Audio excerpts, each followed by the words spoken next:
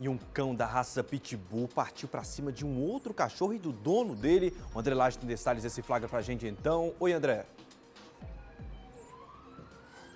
Mobile, boa noite mais uma vez para você e para todos que nos acompanham. Isso aconteceu no bairro Formosinha, em Formosa. Foi no sábado agora, por volta do meio-dia.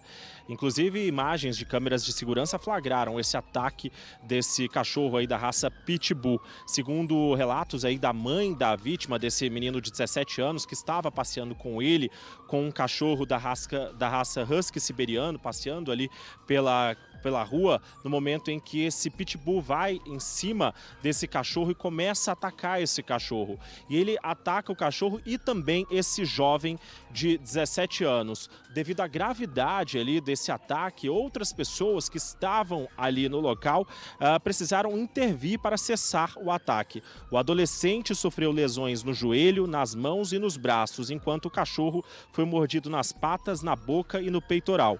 Após o ocorrido, uma mulher se apresentou como proprietária do pitbull e alegou não ter culpa do incidente. O caso foi registrado na segunda delegacia de polícia de Formosa como lesão corporal dolosa e omissão na guarda de animal perigoso. Mobile, é com você. É isso, as imagens são impressionantes também, Adelage. Muito obrigado pelas informações. Boa noite para você